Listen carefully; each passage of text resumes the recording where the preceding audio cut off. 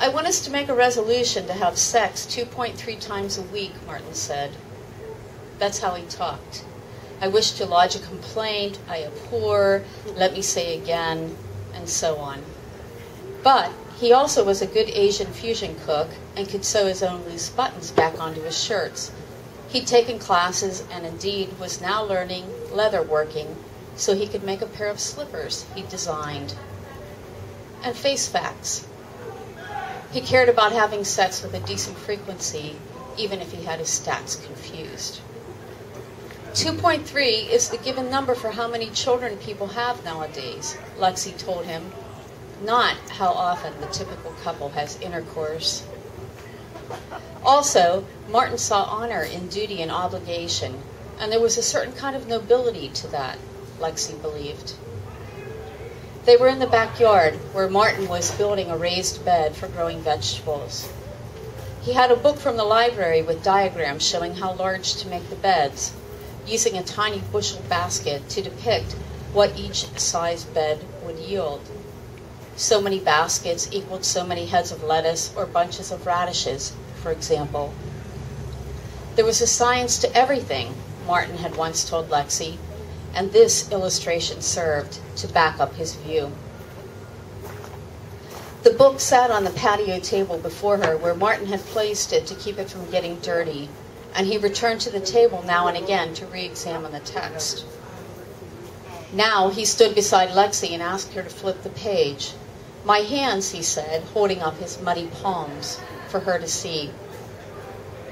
Lexi turned the page and offered him a sip of her iced tea. She held the glass to his mouth while he drank. What would the point threes be anyhow? she asked him. Foreplay only?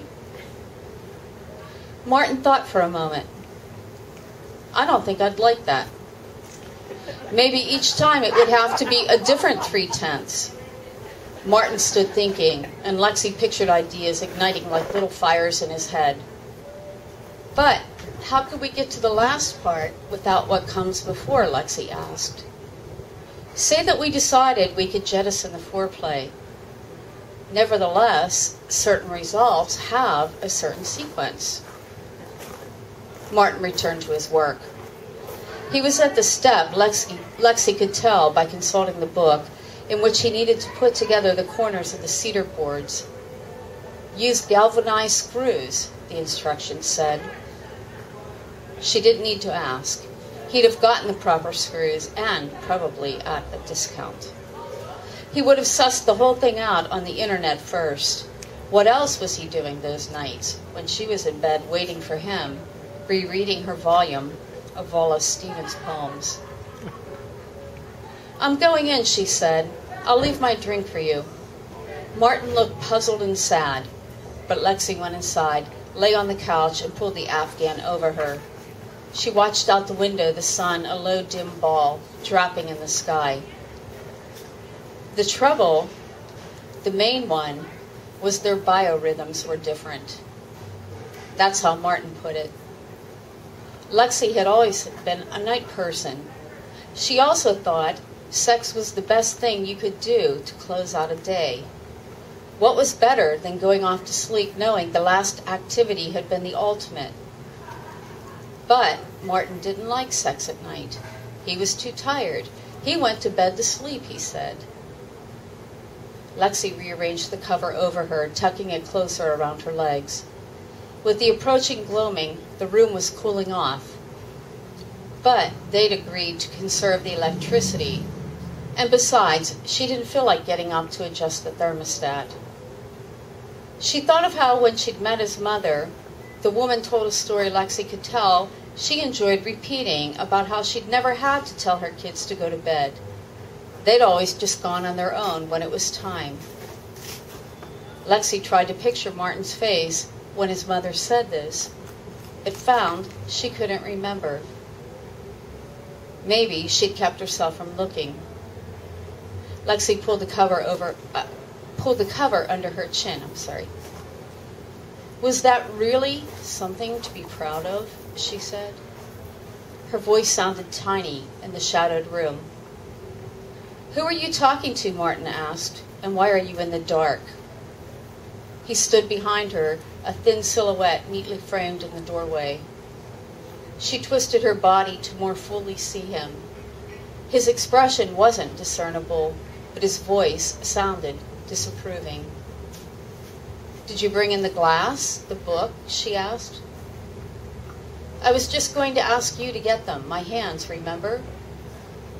Okay, go clean up, Lexi said. Maybe she'd surprise him in the shower, she thought. How long had it been since she'd tried that? Or he, for that matter.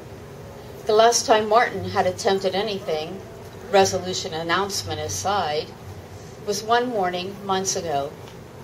Ignoring what she'd said about how she didn't like morning sex, 5 a.m., still wearing her night guard, her habitual dry throat, foul taste in her mouth, breath she knew had to be offensive.